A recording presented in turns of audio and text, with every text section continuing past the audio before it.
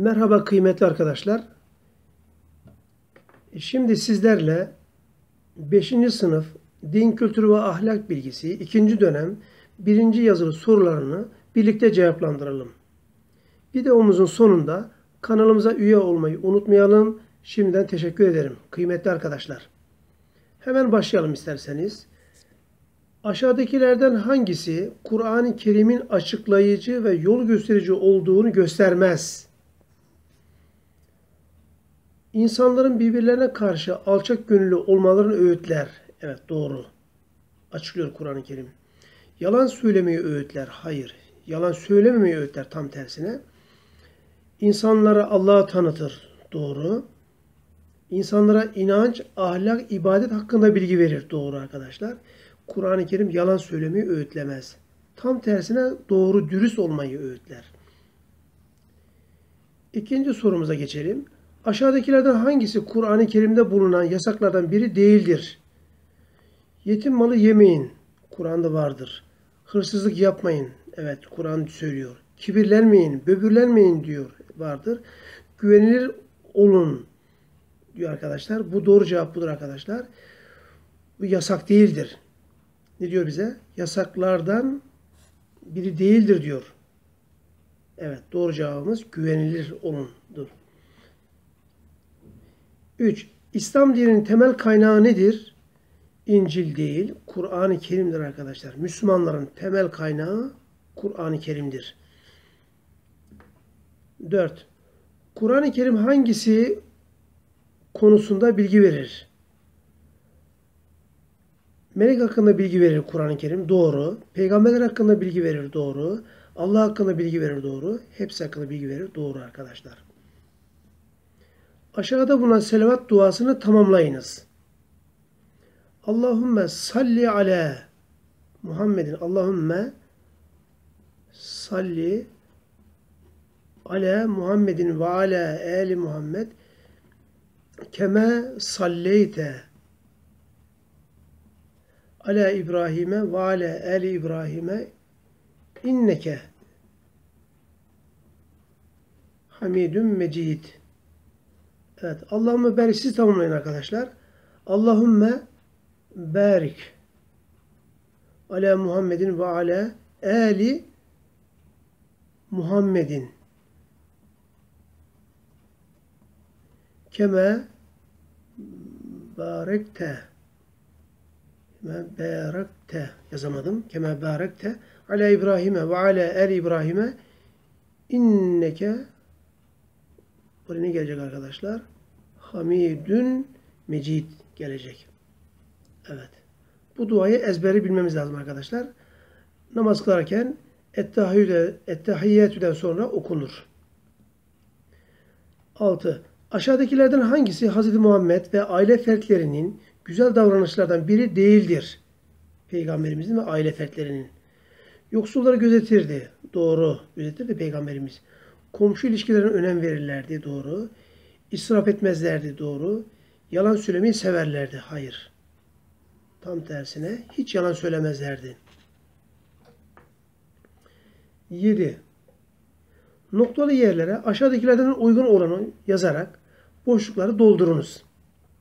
Evet, israf, sevinçler, sıkıntılar, komşuluk. Bu kelimeleri yerleştirelim arkadaşlar. Hz. Muhammed'in ailesinde nokta nokta ve nokta nokta paylaşılırdı. Ne paylaşılırdı? Sevinçler ve sıkıntılar paylaşılırdı arkadaşlar. Sevinçler paylaşıldıkça artar, sıkıntılar paylaşıldıkça azalır. Evet bunu yazmayayım. Yazmadan buraya çiz verdim arkadaşlar. Zaman kaybetmemek için.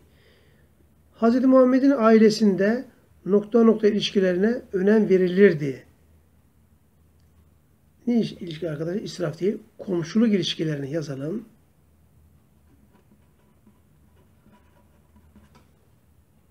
Komşu ilişkilerine önem verilirdi. Evet. 8. soruya geldik. Hazreti Peygamber Efendimizin çocukların isimlerini sırasıyla yazınız. Arkadaşlar peygamberin çocukları hemen yazalım. Kasım, Abdullah, İbrahim. arkadaşlar kızları Zeynep, Rukiye,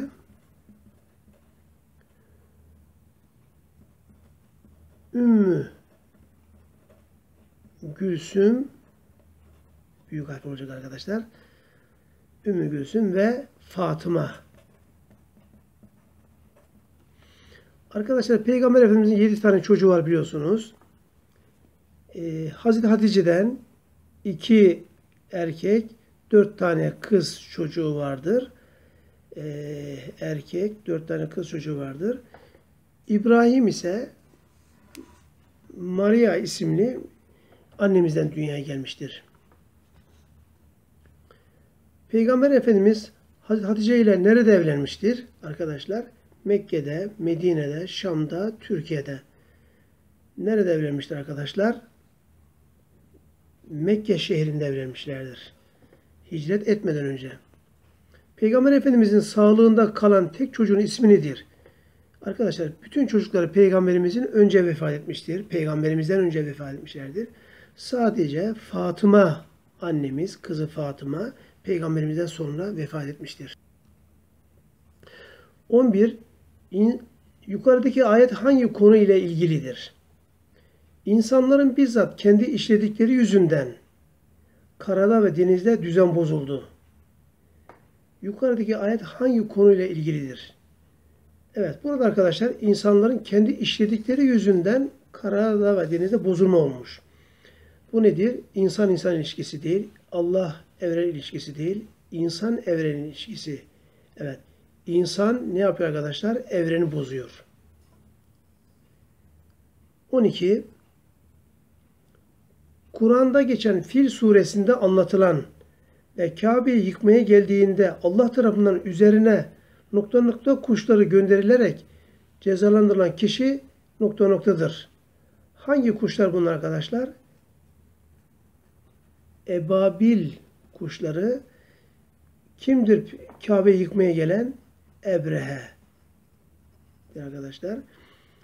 Ebabil, Ebrehe hangi şıkta arkadaşlar? B şıkkındadır. Kabe yıkmaya çalışıyor, yıkmaya geliyor.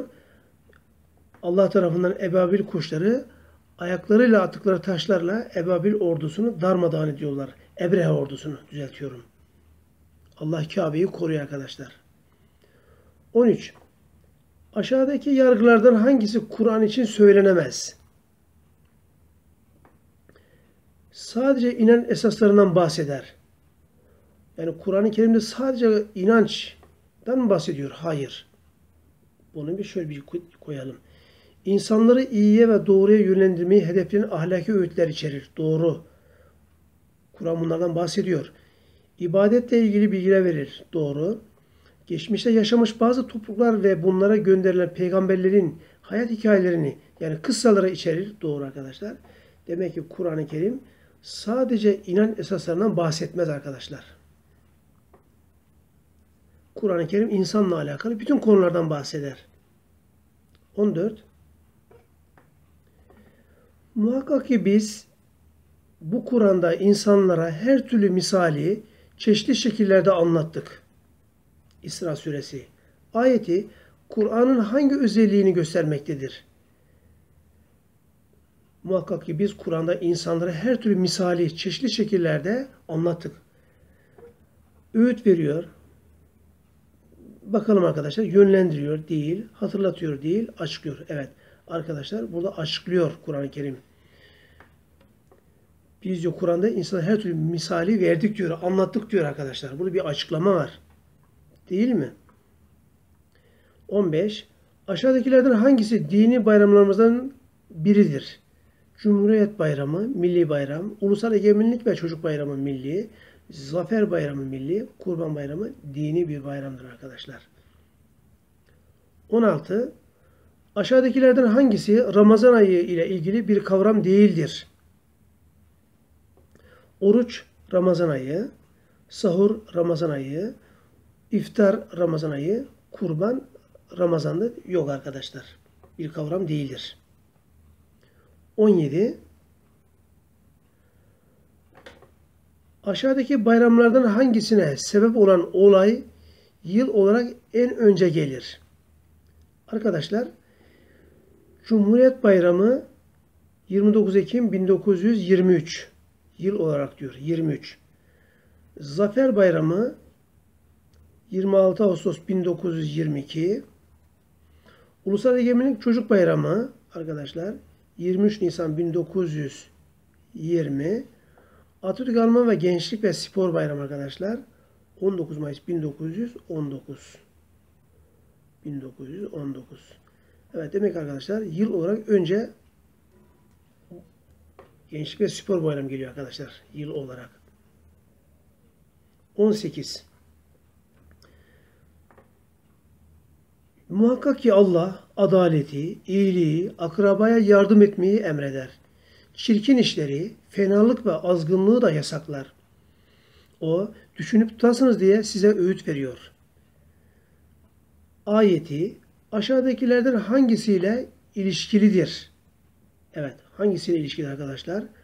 Akrabaya yardım etmeyi diyor. Çirkin işleri yasaklıyor arkadaşlar. Hangisidir? Bakalım. İnsan insan ilişkisi. Evet, olabilir. Allah evren ilişkisi. Burada evrenden bahsetmiyor arkadaşlar. Değil. İnsan Allah insan ilişkisi değil. İnsan evren ilişkisi diye arkadaşlar. Burada insanlarla insan arasında iyi olmamızı emrediyor Allah. İnsan ile insan ilişkisinden bahsediyor. Allah insan ilişkisi demek arkadaşlar. İnsanın Allah'a dua etmesi, ona ibadet etmesi, o ilişkiyi açıklıyor bu. Aldatmasın bize.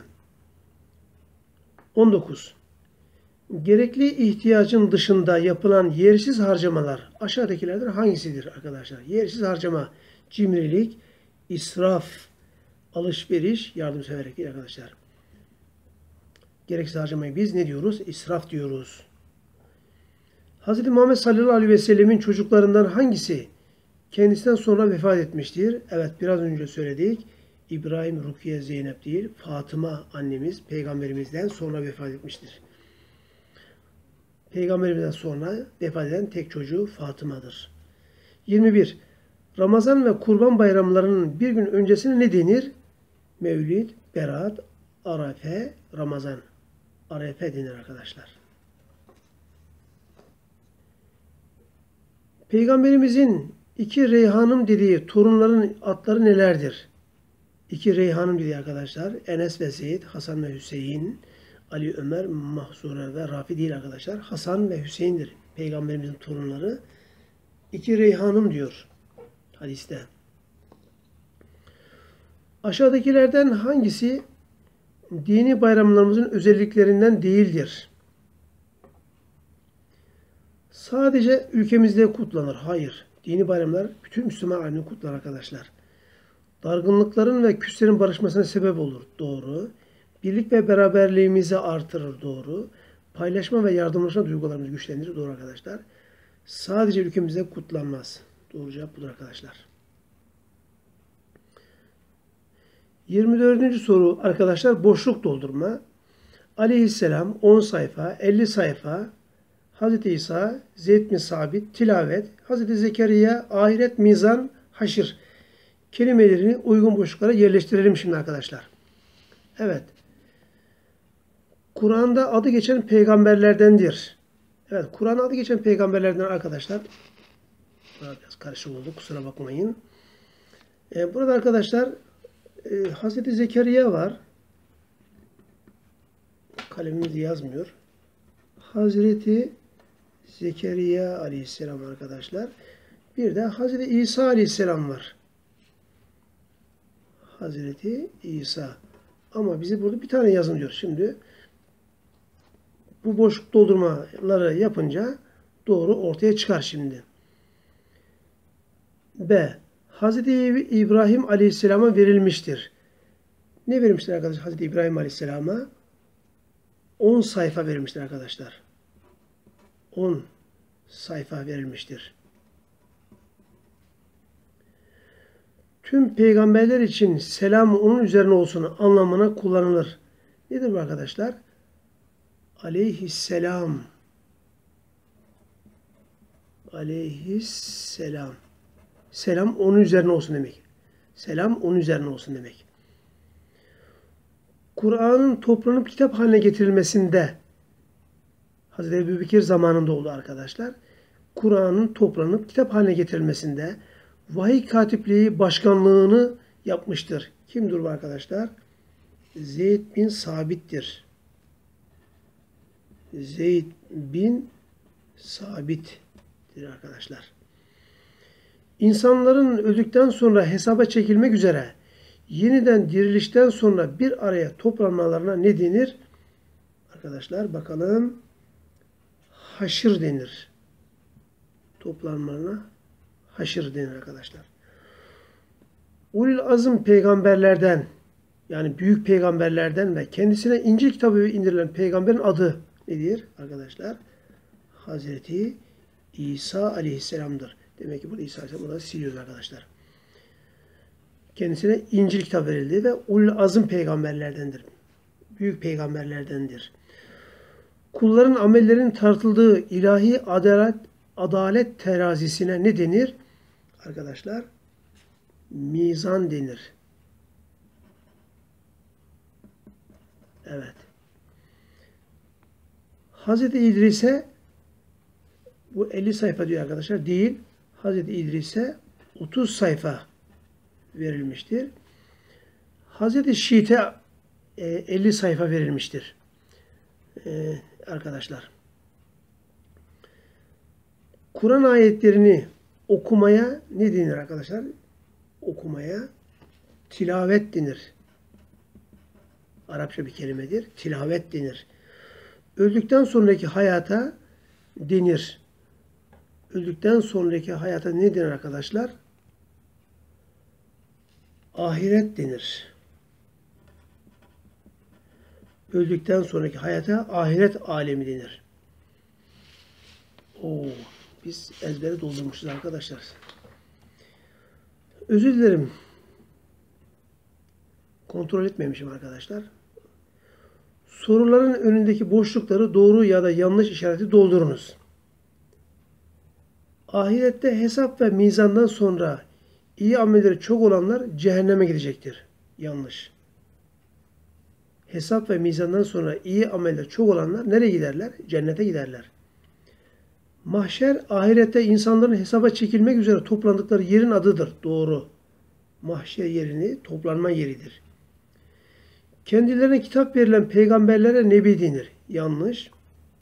Arkadaşlar kitap verilen peygamberlere Resul, kitap verilmeyen kendinden önceki peygamberin kitabını devam edenlere nebi denir.